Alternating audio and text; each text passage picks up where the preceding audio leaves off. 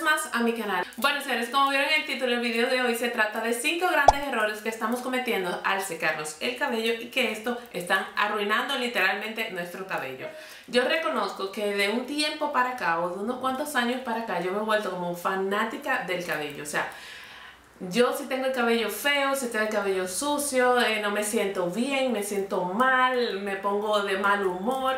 ¿Por qué? Porque es que me siento fea. Yo puedo andar muy bien vestida, muy bien maquillada, pero si tengo el cabello feo o lo tengo sucio, mmm, no, yo no me siento bien y siento que estoy horrorosa. Por muchos intentos que yo haga de, acomodarme, tanto en, vestuario como en maquillaje, nada que ver. Entonces buscando en internet, viendo cosas aquí y allí, eh, y también obviamente basada en la experiencia con el cabello, eh, dije, mira, déjame hacer un video de cinco cosas que realmente nosotras hacemos y no nos damos cuenta que lo que estamos haciendo es dañarnos el cabello. Realmente yo también he cometido estos errores y poco a poco he ido aprendiendo de que no se deben hacer. Así que bueno, después de tanta habladera vamos a empezar. Y bueno, nuestro primer error es cuando tenemos el cabello muy muy húmedo, empapado, como decimos, y pretendemos secarnos el cabello inmediatamente. Eso, señores, es un error garrafal. ¿Por qué? Porque vas a tener que pasarte una mayor cantidad de tiempo secándote el cabello, tratando de secarlo, y obviamente no te va a quedar bien. Lo ideal es que dejemos que el cabello se seque por unos minutos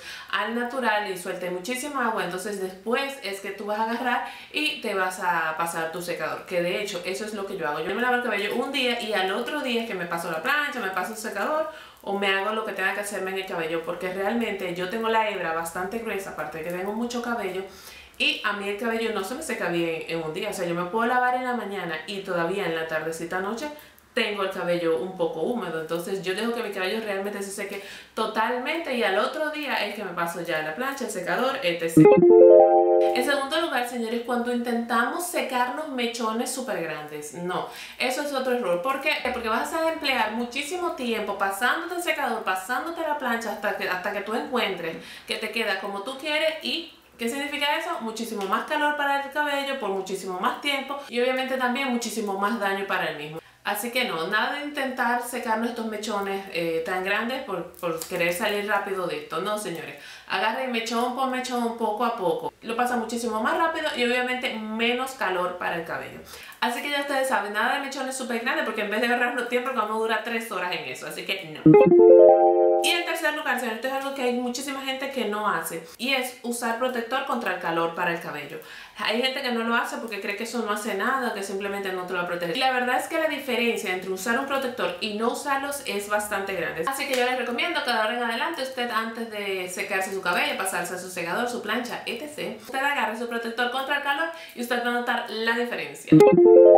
En cuarto lugar, esto es algo que a mí me causó mucha, mucha curiosidad. ¿Sabes cuál es? Que no limpiamos nuestro secador. ¿Tú sabías que había que limpiar el secador del cabello? No, ¿verdad? Porque yo tampoco. Yo nunca había escuchado eso, ni se me pasaba por la cabeza de que había que limpiarlo y tal y cual para cuidarte tu cabello. Pues resulta que no. Y resulta de que sí es necesario porque todo ese polvo que se va acumulando en el secador, como la lógica indica, obviamente se nos pasa el cabello. Pero ¿sabe qué es lo peor? Que ese polvo causa frizz. Sí. Entonces, imagínense ustedes, nosotros ahí dándole al cabello y dándole al cabello para que el cabello esté todo fabuloso y todo lindo y resulta que uno, lo que aparte que te lo estás llenando de polvo, el frizz, mi amor, nunca se va y nunca te abandona. Uno no sabe qué hacer con este pajón, porque yo te voy a decir una cosa, cuando yo tengo el cabello que está, que no quiere nada, está de control, yo no sé qué hacer. De verdad que yo no sé qué hacer, si amarrármelo, si soltármelo, qué hacer con él. Así que uno de los factores que muchas veces nos causa el frizz es el polvo acumulado, señores, en nuestros secadores de cabello. Así que ustedes saben, de vez en cuando vamos a darle una manita de secador porque, señores, esta melena lo vale.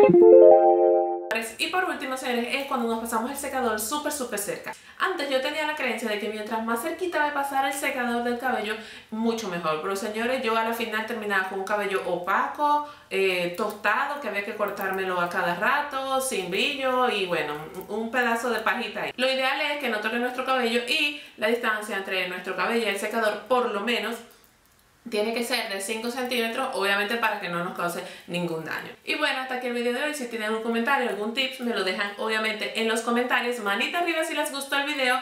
Y yo como siempre, en la cajita de información les voy a dejar todos los links de interés a todas mis redes sociales. Y recuerden que si usted no se ha suscrito, allá abajo hay un botoncito rojo, suscríbase. Y usted y yo nos vemos en el siguiente video. Chao, chao.